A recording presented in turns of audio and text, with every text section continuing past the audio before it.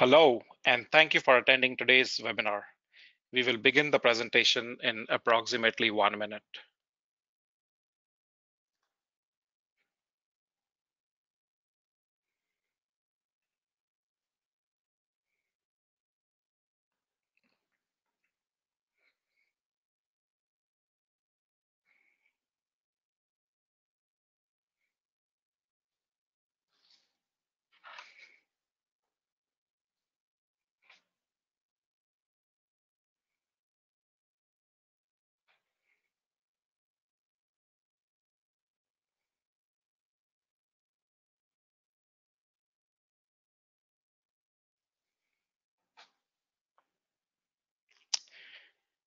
Hello, and welcome to how University of the Pacific uh, gains 65 days of productivity and restores instantly with Rubrik on AWS.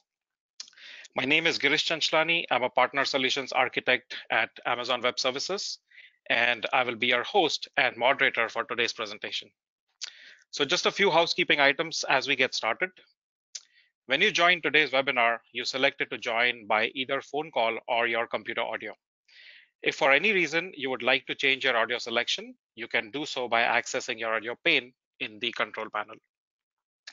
From this control panel, you will also have the opportunity to submit questions to today's presenters by typing your questions into the questions panel. We will collect the questions and address as many as we can during the Q&A session at the end of today's presentation. Also, at the end of today's event is a brief survey Please stay connected until the end of the broadcast and submit your feedback as your opinions count. Lastly, the PowerPoint presentation will be available through SlideShare, along with a recording of the webinar on YouTube. Uh, you will be notified via an email that will be sent two to three days after the conclusion of this event. So keep an eye out for the follow-up email sent to address that you have provided.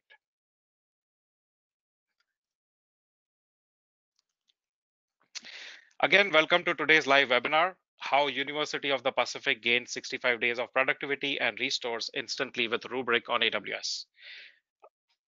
Uh, so today we will learn about uh, storage on AWS, uh, Rubrik Cloud Data Management, and how uh, University of the Pacific centrally controls data and archives to the cloud. In addition to learning about AWS, we will also hear from Pierre, uh, Frank Guglielmi, who's a technical manager, partner solutions at Rubrik, and Tony Carrero, who's an enterprise systems manager at the University of the Pacific. And remember, please post your questions in the chat window throughout the presentation as we will review questions at the end of today's event. With that, let's start off by looking at what AWS offers today in the storage space. And our focus is going to be on what AWS storage services are available today and how they can help along with solutions from our partners to solve customers' backup and recovery challenges. Quickly want to start off with how the AWS global infrastructure looks like. So Amazon Cloud Computing resources are located in multiple locations worldwide. These locations are composed of AWS regions and availability zones. Each AWS region is a separate geographic area, and each AWS region has multiple isolated locations known as availability zones or AZs. An easy way to think about an AZ is to think of a data center. Each availability zone is composed of one or more buildings, and these uh, availability zones within a region are separated from each other by a meaningful distance and protected against joint failures for maximum resiliency. At present, we have 22 regions spread out across the world and a total of 69 availability zones within those regions. In addition to this, we have announced three additional regions and nine availability zones that will be coming online in the first half of 2020. So when we look at storage solutions on AWS, we think of three main components. Core to this is the AWS services. These include storage services as well as other services like compute.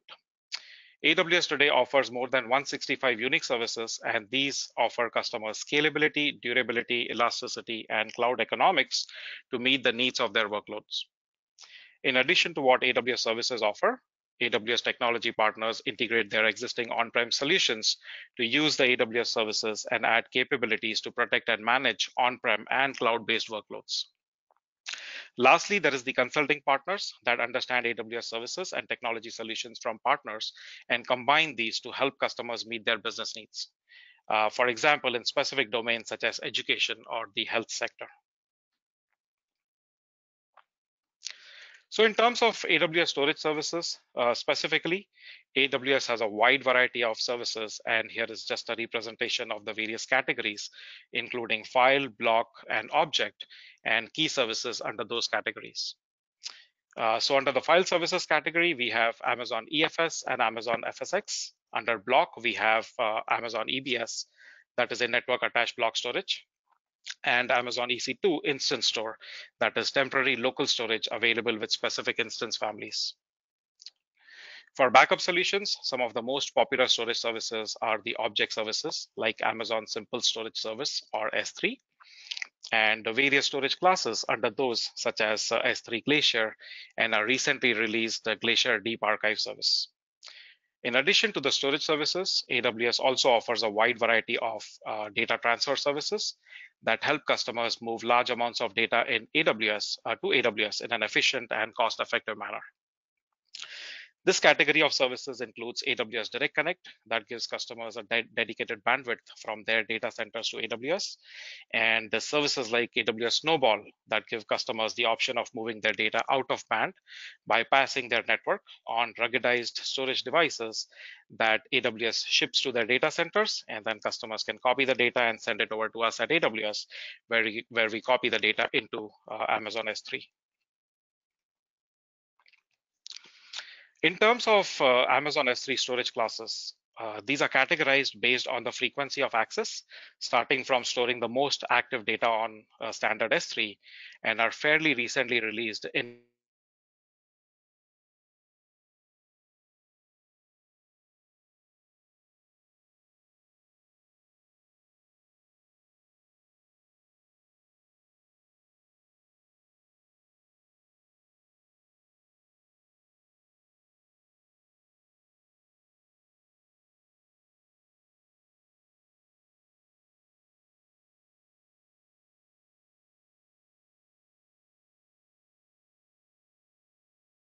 or maximum durability and resiliency.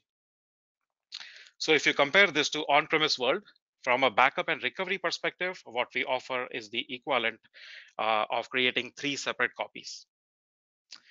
On the archive side, we have S3 Glacier for storing data that needs to be stored for long term and does not need to be accessed frequently. If accessed, the application should be able to accept a delay of a couple of hours for that data to be available. And we introduced the Glacier Deep Archive early this year that is designed for data that is even colder and access times of anywhere from 12 to 48 hours are acceptable. This class is perfect for use cases where customers would use a tape-based solution in the on-premise world. From a pricing perspective, this class is the most economical of all storage classes that we offer today with pricing of around a dollar a terabyte a month and you get three copies at that price.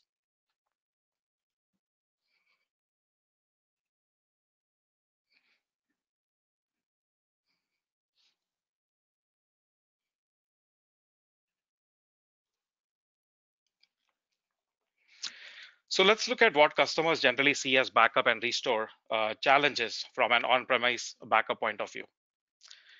First is the underlying infrastructure difficult to manage. You have to think in terms of servers, virtualization platforms, storage protocols, uh, various storage vendors, and peculiarity of each and every vendor. So there are a lot of manual aspects of managing the infrastructure. And if you look at scaling the storage solutions, especially when customers need to add disk or tape capacity, or even compute capacity, that is extremely difficult and time consuming. It is also very costly. Uh, on-premise systems usually eat into capital expenses in addition to yearly maintenance costs and hardware and software upgrade costs, training costs, and so on. In addition, we see more and more customers that need to meet compliance uh, regulations that get tied to long-term data storage. For example, GDPR, HIPAA in healthcare, and others that are harder to achieve with uh, traditional backup and recovery solutions. So what are some of the benefits that AWS offers from a backup and recovery solution perspective? For one, it is an integrated solution. You have various storage classes available as different services under one roof. It is also a highly secure environment with multiple options available from AWS and AWS partners for encrypting data at rest and in motion, for tighter access uh, controls and various other security solutions. It's very easy to uh, maintain compared to on-premise storage solutions. Interface is simple, globally available over the internet. Customers can just go to the AWS console and create a bucket in the region of choice and start using that. Uh, there is no need to know the details behind how the data is stored and things like that, which is all managed behind the scenes by us. And it needs no maintenance or frequent hardware and software upgrades. It can automatically scale up in terms of capacity and performance uh, based on your business needs. Uh, for example, Amazon S3 offers virtually unlimited capacity. So if your data grows, Amazon S3 scales automatically, and there is nothing that the customer needs to do. And finally, it has an OPEX model where you only pay for what you use. Uh, there are no upfront costs, no yearly maintenance costs, no upgrade costs, and so on. You do not have to pre-purchase storage in anticipation that it will be used. You only use what you need and you pay only for that. So AWS storage competency partners like Rubrik uh, bring the following benefits to the table. Ease of configuration. Protection of on-premise and cloud workloads is very simple to configure. You have the options like policy-based backups, incremental file and block level backups available to meet your data protection use cases and needs. You can create multiple copies of data and use various AWS storage classes that we covered, from Amazon S3 for short-term backups to Glacier Deep Archive for your long-term retention use cases.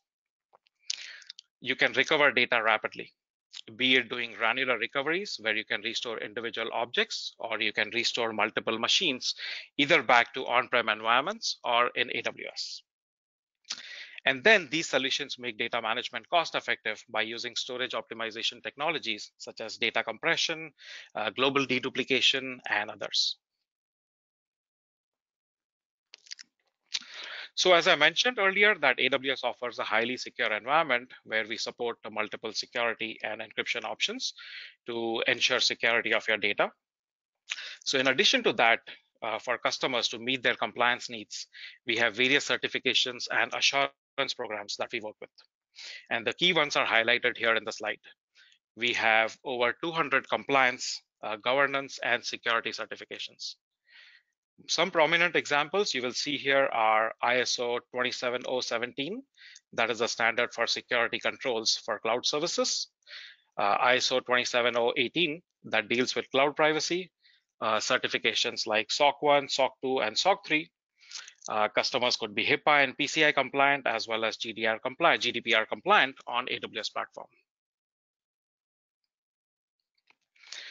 Uh, want to briefly touch upon our shared security model that we provide in the AWS cloud, where AWS is responsible for managing and controlling the components from host operating systems and virtualization layer down to the physical security of the data centers in which the services operate.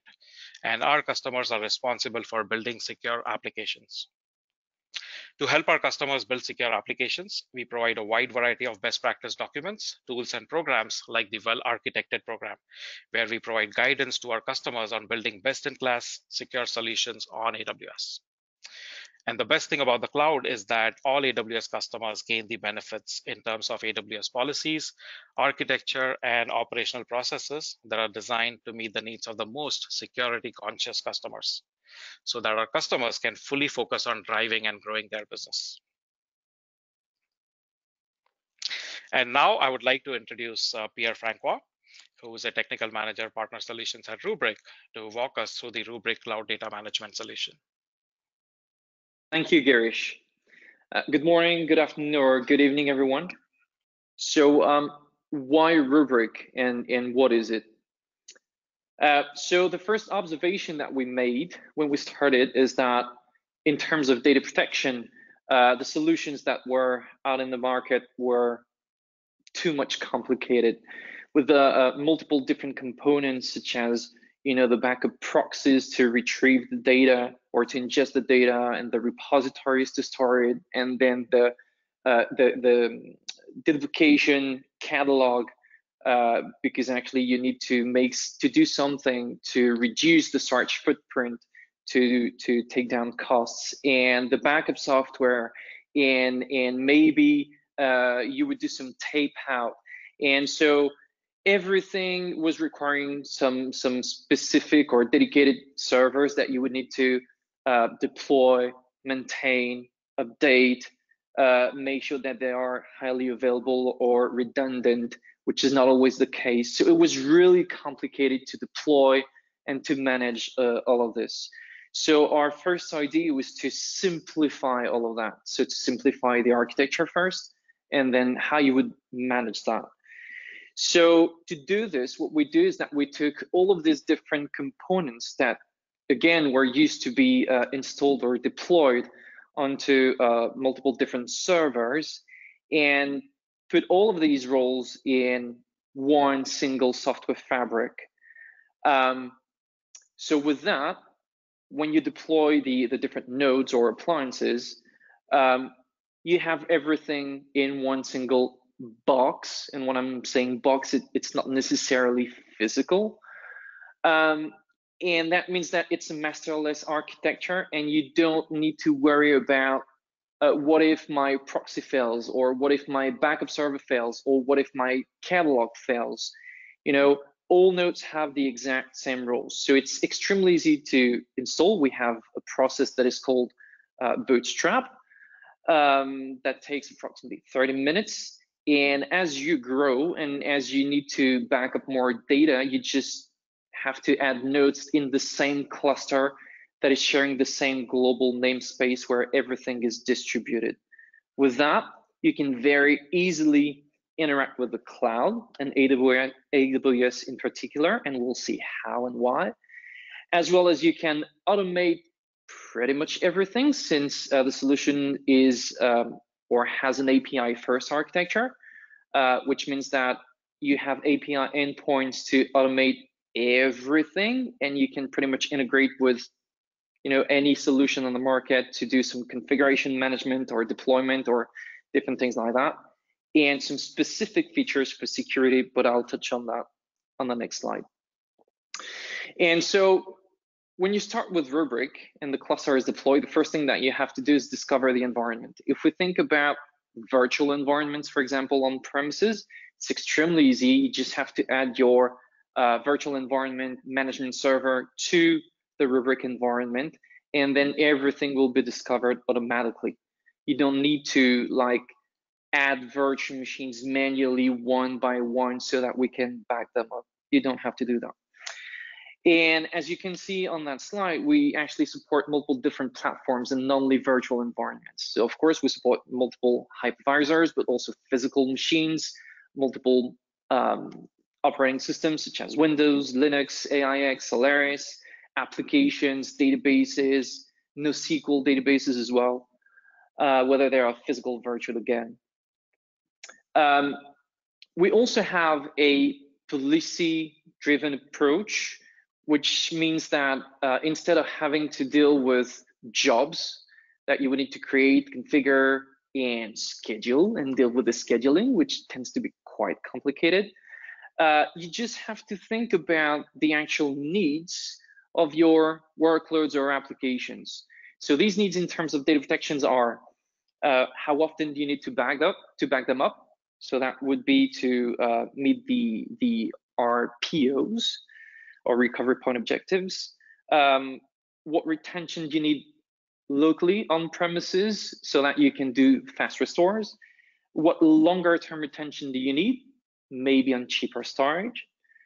Uh, and do you need replication for disaster recovery purposes? And as soon as you know that, you just create your policies and attach these policies to anything that you need to, to back up, whether it's virtual, physical applications, files, NAS, anything.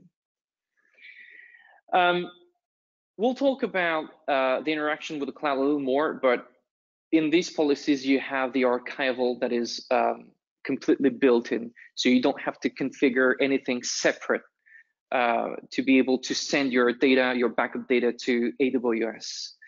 Of course, backing up is kind of mandatory, but what is backup if you cannot restore? And above all, if you cannot restore fast. And so for that, we have uh, some instant recovery or live mount capabilities that will help you uh, put back into production virtual machines or SQL or Oracle databases uh, almost instantaneously directly from the, the Rubrik uh, system. And in terms of security, uh, we have an end-to-end -end encryption. So that means that whenever we transport data, so when data is in flight or when it's at rest, everything is encrypted. That's the first thing. And the second thing is that we have uh, different things to fight ransomware. The first one is that when backup data is stored on the Rubrik cluster, uh, it's actually immutable. The way that we manage the backup storage is that once the backup is written on the on the storage, uh, it is snapshotted, which is how we uh, manage versioning and, and retention. But when you have that snapshot, the actual data is in the read-only mode. So that means it, can, it cannot be changed, modified, or encrypted, for instance. And then we have something that we call Polaris Radar that helps detecting ransomware attacks, give visibility over what has been impacted, and that allows you to uh, recover in one click all the data that has been encrypted in case of a ransomware attack, for example. So in terms of interaction with the cloud, um, the first thing, or maybe the, the easiest to start with, is to leverage cloud storage uh, to do some archival. And again, this is built in our policies that we call SLA domains. Uh, and we'll actually uh, dig a little bit deeper in that right after. The second use case is once you have uh, data, backup data that is sent and stored in AWS, uh, we can actually use that data to instantiate workloads directly as native EC2 instances. So we can we can convert, if you will, uh, virtual machines that you backed up on premises that you send to AWS to EC2 instances so that you can run your applications and, and workloads directly in AWS. But then once you have workloads in AWS, you may want to protect them. And we can do that as well uh, in two ways, and I'll, I'll, touch on that as well. But first, let's dig a little bit deeper uh, in the archival piece. So in terms of feature, this is called Cloud Out. And again, it's built in our SLA domain, so our uh, policies. So you just have to configure your AWS storage account, whether it's S3, S3 infrequent access or uh, Glacier uh, in the in the Rubrik software. And then in the policy, you would just choose that storage account uh, as the archival location. And once you have done that and attach the policy to any object that you need to back to back up, then it will be automat automatically sent to the corresponding um, storage account in AWS automatically. And, and of course, according to the settings that you would have set, such as the retention that you set. Um, let's talk a little bit uh, more about that feature because actually we're talking about sending backup data to the cloud, basically to AWS. Uh, but you know, most customers will want to know what exactly it's going to involve in terms of cost, uh, because actually you're sending backup data. So how do you do it? Um, how do you deal with incrementals and fulls and things like that? And what happens when you need to restore something from the cloud? So important things to note here is that Rubrik uses a forever incremental backup approach which means that once the first full backup has been done and sent, you only need to send the, uh, the subsequent incremental backups. So we only send new data to uh, AWS. That's the first thing. The second thing is that before sending anything to AWS, we first optimize the storage footprint on premises. So how do we do that? We actually apply some deduplication and compression, and so data is sent compressed and deduplicated to uh, AWS. Now, of course, when you need to recover something, it's important to understand how it works because you, you will be interested in um, knowing that egress charges will be reduced or optimized as well. So the first thing is if you need to recover files, for example, everything is indexed.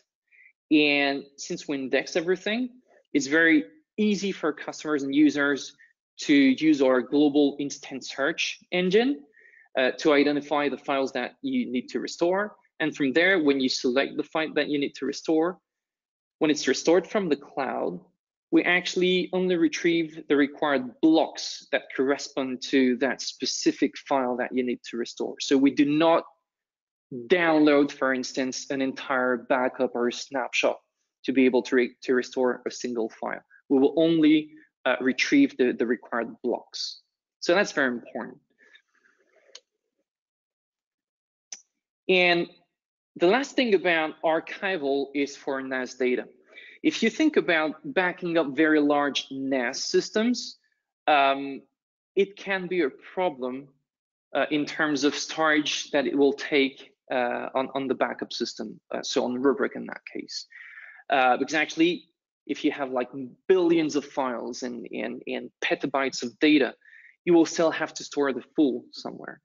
So to address that specifically, we have something that is called NAS Direct Archive. And what this feature will do is that we will still retrieve and ingest the data through Rubrik. We will index everything as always, so you can have that, you know, global um, Google-like search engine. So you can do um, easy, fast, uh, granular restores of files.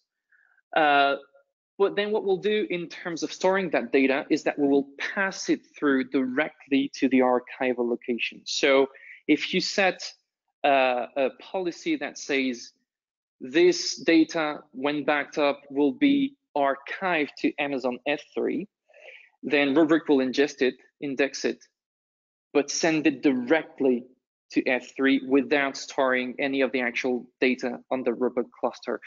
The only thing that we will store is the, the metadata for searches. That's it. So by doing this, you leverage the the uh, the advantages of the of the cloud and cloud storage in that case, but while still having the advantages and benefits of Rubrik uh, policies and indexing capabilities. So once you have backup data in the cloud, uh, as I was saying before, you can actually instantiate uh, some of this data as native EC2 instances. So we do cloud conversion, if you will. Um, that feature is called Cloud On. And you can absolutely do that on demand when you need to maybe test something specific in the cloud. You don't want to uh, use local resources. So you can absolutely convert on demand a specific workload to an EC2 instance and do whatever test and development that you need. Or you can do that incrementally and in an automated manner. So you can absolutely um, have policies that will say, as soon as I have an incremental backup that is sent to S3, I want it to be converted to an EC2 instance so I can regularly do my tests or my development or again, whatever you might need to do with that specific machine. And last but not least, once you have these EC2 instances running in AWS, you may want to back them up. And the good, the good thing or the good news is that actually have two ways of doing that. Uh, for let's say, um, I was going to say regular or standard version machines, uh, we have uh, a native EC2 backup capability that will actually leverage EBS snapshotting capability. So we will actually orchestrate and automate the workflow of triggering an EBS snapshot to use that as the baseline for backup. Um, and if you're running some very specific workloads in these EC2 instances, such as SQL databases or Oracle databases, and, and you need to have some you know, very short and granular um, RPOs, uh, you may want to be able to back up not only the databases and, and the data inside these databases, but also the transaction or archive logs to enable these um, short RPOs. And in that case, what you can do is that you can absolutely deploy our software, Rubrik Cloud Data Management or CDM, uh, in the form of a virtual cluster in AWS. It's exactly the same software as, you would have on premises. And with that, you can absolutely leverage our SQL and Oracle integration to reach uh, these objective of, of, you know, very short RPOs. And with that, I have the pleasure to hand the presentation over to Tony. Thank you very much, Pierre.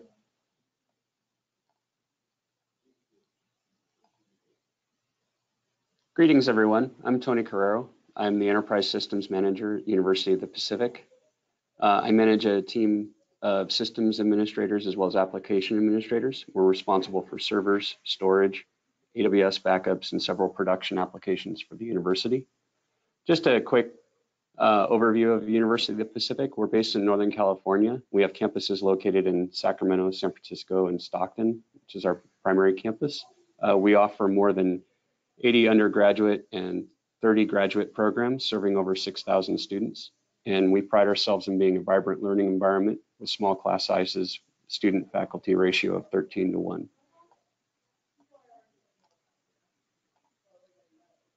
Just a brief overview of our environment. Uh, we are a cloud first institution. Um, what that basically means is when selecting technologies uh, for our needs and processes, uh, we look to hosting providers and cloud options first and typically go with what makes sense for the given use cases. Um, this factors in functionality, usability, cost, and ROI. Uh, we have three data centers uh, across three campuses, approximately 600 servers.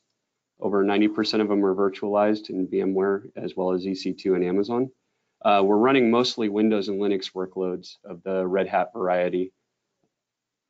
And we're currently using AWS for public DNS and Route 53, our primary websites and our content management, um, some authentication portal services, academic applications for our, our primary LMS, um, as well as replication of some of our internal core services, DNS, Active Directory, et cetera.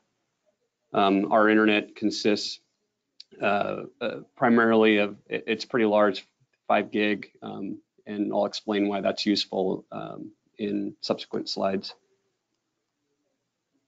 Most of the backups we perform are on VMware or EBS snapshot based. Some we have some client backups and then a couple of direct database backups, as well as some file dumps. Um, we mainly leverage Rubrik Backup Service for file system consistency over crash consistency.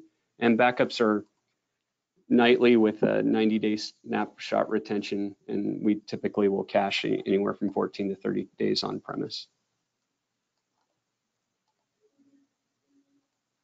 So some of the backup and restore challenges we had prior to Rubrik and AWS, um, we had an ex expensive and aging legacy backup solution. Our previous solution was incredibly complex and difficult to manage uh, across disparate systems. You essentially needed a bachelor's degree in software to, or in order to administer it. We had several different policies to manage on different schedules. We were following the traditional full differential backup methodology. Um, the hardware reached the point where it couldn't be upgraded, which gated us from many new features as well as leveraging the cloud.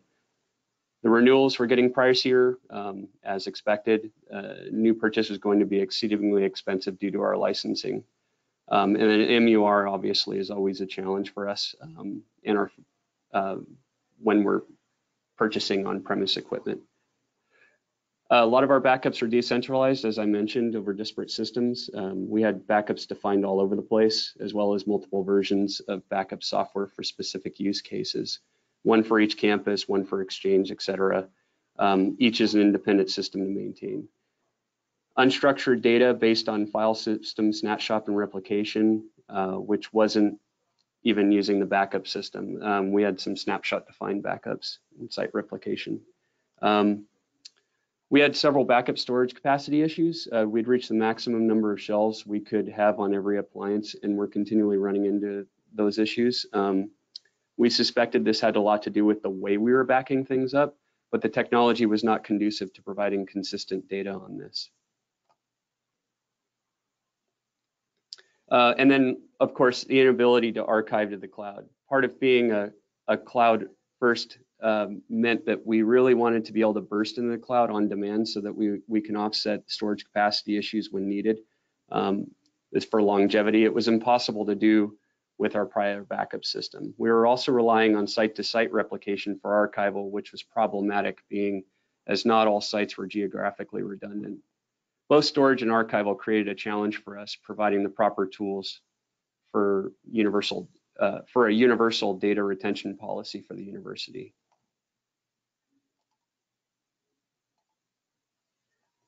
Some additional challenges, uh, very lengthy time to recover. It used to take us hours, if not days, to restore a simple VM. Even VMs that failed to boot after patching um, that were only about 60 gigs in size. Larger VMs would take even longer, as I mentioned. Um, more complex backup workloads proved cumbersome and could take several days. Um, we didn't have any advanced security features. While our backups were offline in nature, there was growing concern about the data exposure in the event of like an account compromise on the appliances or, or uh, various disparate systems. Also, none of the appliances were capable of encrypting data at rest, which is a pretty big deal for us. Um, so there were some concerns over compliance requirements. And it was virtually impossible to report on any data from backups for security analysts in a uniform manner. Uh, we did have some reporting, but it was not uniform across the board. Um, we required daily manual monitoring and management. We um, had a limited set of reports, but it was very difficult to figure out what was backed up and where. Some, some new systems were also not being added to backups, which created a risk in trying to maintain data integrity. Much of our internal notification addition processes were manual and prone to error. Automated notifications were very limited. So we had to have an operator basically continually watching the backups from the consoles every night and weekend to ensure that the backups succeeded consistently and basically report on, um, on those that have errors. And then of course we had limited staff for support. It's pretty common in higher ed. Um, I was worried that our backup admin would basically never take a vacation because the rest of the team wouldn't know how to restore in case something happened, et cetera. Um, it was basically a single point of failure. To address these challenges, we basically graduated to the cloud with Rubrik and AWS. That's what I'm calling it. Um, so Darren mentioned a single software fabric for complete data management with the Rubrik platform, and that's basically what we accomplished with the CDM. Um, all backups are now centralized via Rubrik CDM as well as Polaris. Uh, no disparate backup systems or site-to-site -site replication, et cetera. Uh, instead of policy management, we're now utilizing the simplified Rubrik SLAs, which are the, basically the backup and archive schedule, snapshot retention for on-premise and AWS snapshots. Um, central visibility into VMware and AWS EC2 for backup assignment and status, and then ease of use. Um, anyone on my team can now pick up the Rubrik CDM in a matter of minutes and enable and disable backups, recover, check status, etc. And then with Rubrik, we now have a single pane of glass to centrally control backups. Um, this provided uh, some benefits, um, obviously full visibility in, of the backup environment and SLAs, events and alerting upon backups uh, and system failures, automating backups of new systems, uh, and then we can disable backups globally if needed. That's pretty handy for uh, patching especially. Um, and then restores now take minutes uh, with Rubrik live mounting. This is actually one of my very favorite features. Um, we've had several successes uh, with this met method of recovery, even when pulling down backups older than 14 days from S3. Uh, the technology is is pretty phenomenal. Um, you basically select the VM to recover, choose live mount, select the hypervisor you want to mount it to, and then Rubrik will automatically create the necessary data store and connections to mount and power on the VM directly to the appliance. We found in some cases that the performance, the performance of such mounts can actually be faster than the VMs running on our hybrid arrays. Um, this has dramatically reduced our overall RTO capabilities across the board. And then um, as mentioned previously, we were replicating to a secondary site for long-term data retention, but rather than buying a second or third or fourth matching appliance to do this, um, we were able to utilize Rubrik's Cloud Out, as Pierre mentioned, and S3 for all our archival. We are now caching backups on premise anywhere from 14 to 30 days, and then we basically just keep a, we use, we leverage their instant archive to keep the rest up to S3 for 90 days. Um, and then with um, the the uh, instant archive basically allows a duplicate full backup with all the change blocks in both locations. Pretty nice. Um, and then with NAS Direct, we're able to take a lot of our unstructured data, which doesn't change very often, and put that directly into S3 without eating up any capacity on premise. Um, it, it's about a 10% um, footprint on the appliance, but it, it's still pretty nice uh, when you're talking about terabytes of data. Um, and then both Cloud Out and NAS Direct provide some nice options to keep the on-premise utilization down, as I mentioned, um, you know, leveraging the cloud relatively inexpensively.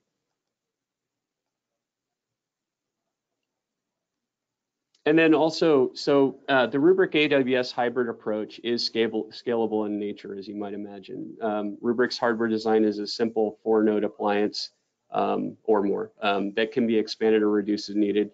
Um, we all, we're also leveraging a set of virtual appliances. They call them the Rubrik Edge uh, for our branch offices and offloading needs. Um, and then with Instant Archive, as I mentioned, dedupe and compression carries over to S3 seamlessly while retaining a full copy. We found that even with the initial purchase, we have more than enough capacity um, thanks to the advanced dedupe compression um, and basically complete visibility over snapshot ballooning. That's pretty handy when you're backing up like um, any sort of database servers that have like flat file dumps and stuff like that because it's very inefficient for uh, dedupe.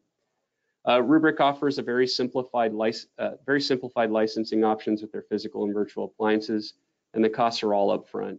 Uh, this was a huge benefit to us um, that we were coming from a technology that basically had perpetual licensing, several add-ons to keep track of. Um, and it wasn't, it, it, really wasn't easy to track and update and renewals. Um, and in AWS, of course, we're leveraging the flexible on-demand pricing model uh, for S3 and EC2, which is very straightforward. I mean, you have several options there to keep the cost down. Um, and um, we've also been able to keep the cost down in S3 by archiving directly to standard infrequent access, as we found our backup archival doesn't change very often. Um, and then we're also uh, cloud converting e uh, VMs to EC2 instances with the click of a button. Uh, Cloud On is an incredible technology that we've been recently leveraging uh, quite a bit. Um, it's intended to be a cold standby of AMIs or, or uh, in AWS for DR, but we've actually found it most beneficial recently for migrating development and production workloads to AWS. Basically, with the click of a button, we can enable it for any given VM and VMware, and it'll convert it and stage the VM uh, as an AMI template in, the Amazon, in Amazon in the background. Um, this uses all the native tools in AWS on the back end, and we found it to be foolproof in copying VMs uh, to native EC2. And then last but not least, um, encryption at rest and immutability to, to ransomware by design. Uh, with Rubrik, we have the peace of mind that all our backups are encrypted at rest. Um, we also enabled encryption in S3 for all archival utilizing Amazon KMS and the setup has been very straightforward. All S3 buckets are locked down by default, and the Rubrik appliances won't present any data uh, or amounts to the environment that's not specifically associated with the restore process. That's fantastic for compliance reasons and whatnot. So some recent successes we've had, um, we're, we're pretty proud of these. Um, we, uh, for instant server and data recoveries, again, one of my favorite features, we basically converted uh, SharePoint SQL backups to native SQL uh, with the Rubrik backup service. This allowed us to provide a recovery of a couple of key SharePoint files as well as an entire site collection in minutes using live mount of the database in the SharePoint dev environment. My SharePoint admin actually loves this feature. Um, this has also allowed us to cut down on snapshot ballooning, as I mentioned prior, um, that was taking place with the traditional SQL file extracts. We've, which we've also started using um, on backup, backing up other SQL implementations. Um, in one case, we were able to instantly recover a critical server that provides connectivity between our document management and ERP systems.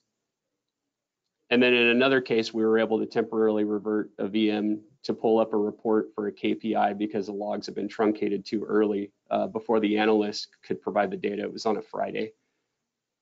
And then uh, we've also been able to more confidently manage patch uh, patching in Windows, um, given that the immediate we can immediately recover any server that fails to boot um, after patching. And yes, it still happens. We actually just had one about two weeks ago. Um, server recoveries have also been commonplace for testing with live mounts. So uh, all site-to-site -site replication also um, has been consolidated into a simple archival from on-premise to AWS S3, regardless of where the Rubrik appliance lives, and regardless of whether it's hardware or virtual. With the high durability of S3, we do have peace of mind that we can re retain the integrity of our daily backups and retain those backups to potentially indefinite period of time. We also test this uh, pretty regularly as well, uh, downloading snapshots from the cloud and that sort of thing. Um, and then Mike, uh, another success, uh, migrating all of our, our main primary production website to AWS. Um, this was a huge win for us. Basically with Rubrik Cloud on, uh, simplifying the VM conversion process with VM import um, and uh, being able to convert it to AWS AMI. And the fact that our snapshot ar archival was already residing in S3, we were basically able to successfully create a uh, complete duplicate clone of our production website environment for testing purposes. This allowed us to upgrade our CMS, um, do some um, new things with our with our IIS nodes, et cetera um, as well as plan for a, a, complete migration. And then ultimately, we migrated all of Pacific EDU uh, to AWS and leveraged all the availability and durabilities of that platform. Um, our next step being scalability um, on, in future upgrades. And then last but not least, uh, we migrated some authentication portals to AWS. Um, again, Rubrik and AWS allowed us to seamlessly lift and shift uh, a lot of these servers, um, and then AWS provided us tools to make our core services uh, completely redundant should the VPN tunnel go, uh, to on-premise go offline.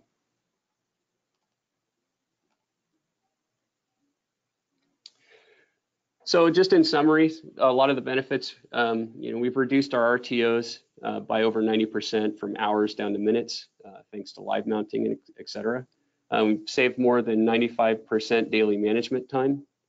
Um, you know, we can rapidly convert virtual machines to Amazon EC2 instances using the staging methodology with Cloud On. Um, and we have a, a, plethora of options for backup recovery and data retention. Um, we're, we're, basically providing a lot of tools for the university, um, you know, as we start building a lot of these policies and whatnot both from an operational as well as a security standpoint. Uh, obviously, more secure data management. Uh, I can't stress that enough. You know, that's that's top of our mind um, uh, from the university leadership on down. Um, and then uh, again, last but not least, you know, we streamlined all our reporting of backups. You know, Polaris provides a really nice platform for for me to provide a KPI every week. Uh, we have full visibility of our backup environment. It's incredibly useful.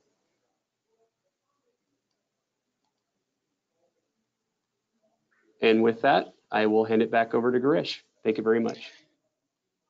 Thank you, Tony, for that insightful story.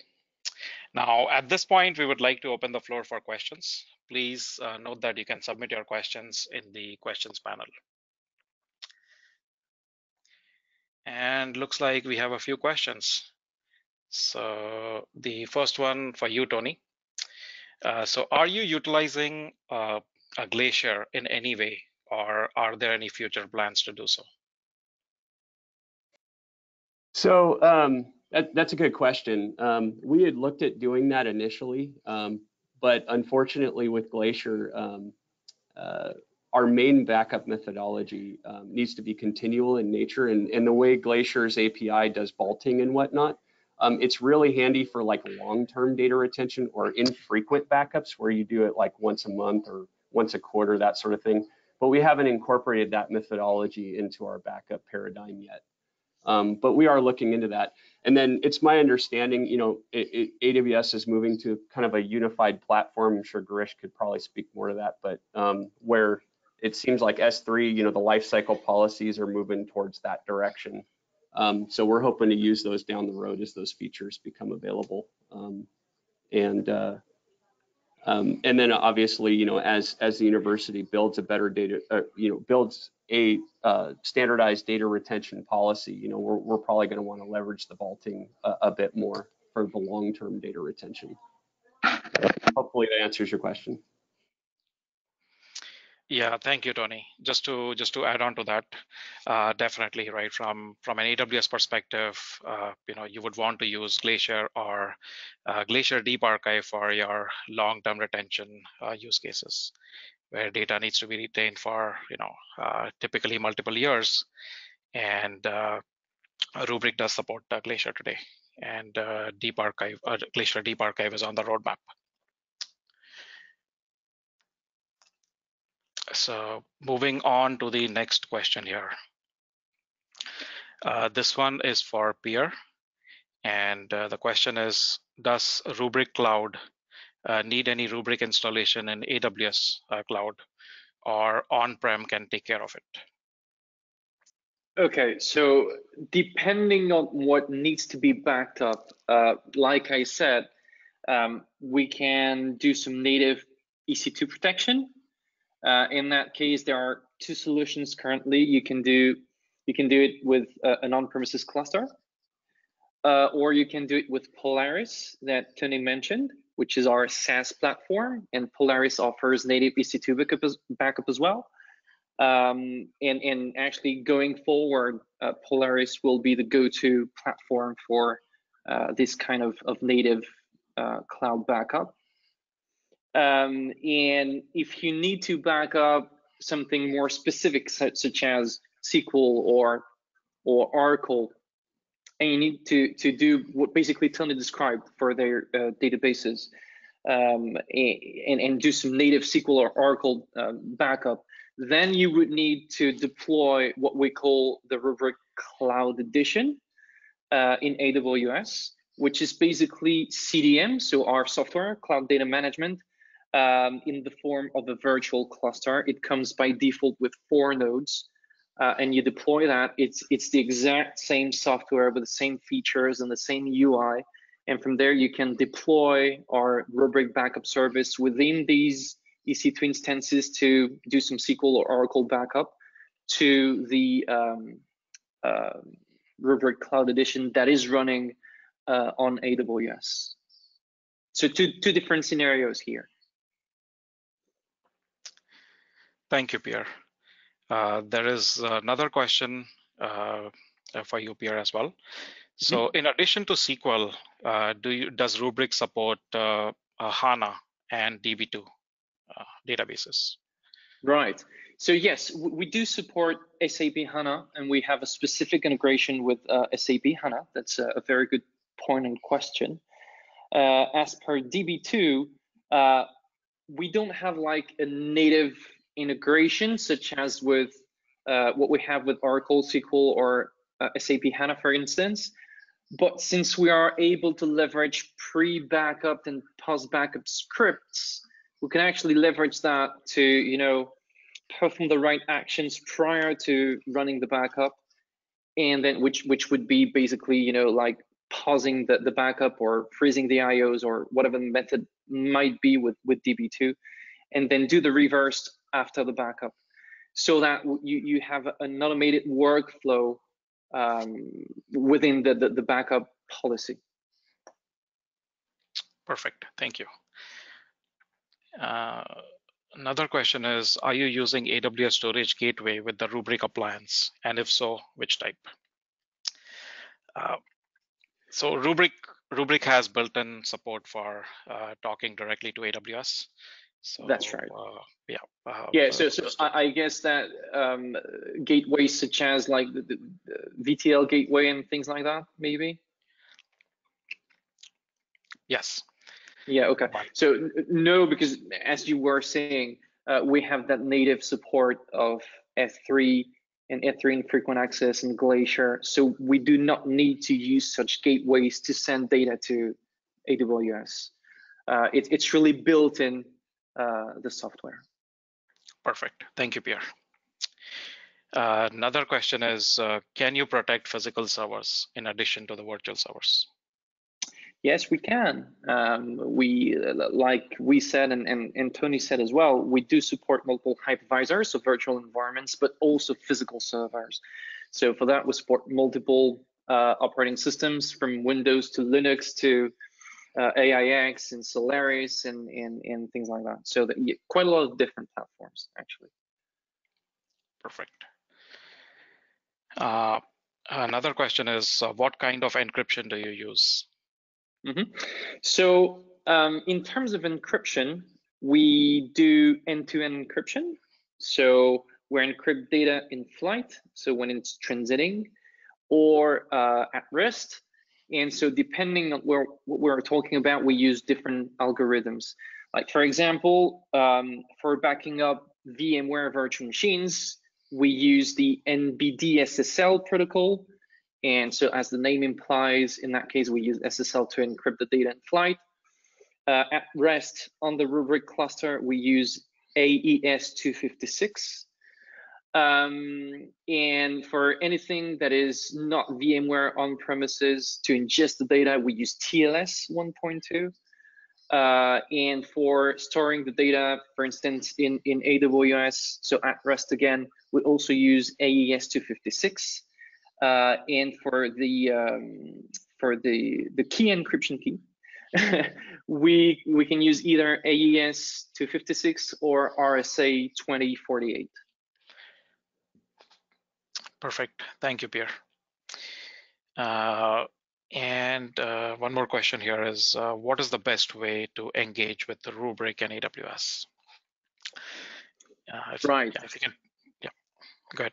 Yeah, so, so on the Rubrik side of things, um, if you know your local account team, you can absolutely reach out to them. And, and actually, I think that's that would probably be the best way to engage with Rubrik. Um, if not, do not hesitate to send an email to info at rubrik.com and we'll make sure that the right persons uh, come back to you. Thank you, Pierre. Yeah, on the AWS side, I mean, it's uh, you know the in terms of integration, you know, basically all you need is an AWS account. Once you have the AWS account, basically you just plug in those details uh, into Rubrik when you're creating your uh, policies. Uh, you know, for example, when you're creating your uh, cloud archive policy, once we have that, then Rubrik will automatically start uh, using these services in that AWS account. So it's a very straightforward process there.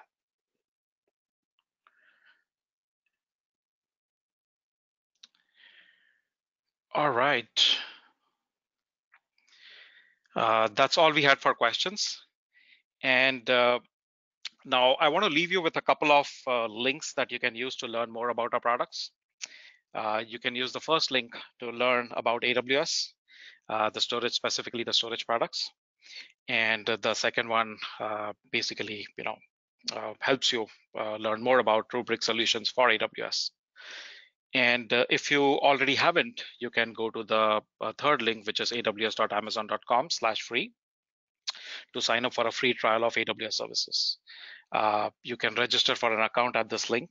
And uh, essentially what, what happens is you get to try out certain AWS services for free uh, for a period of 12 months.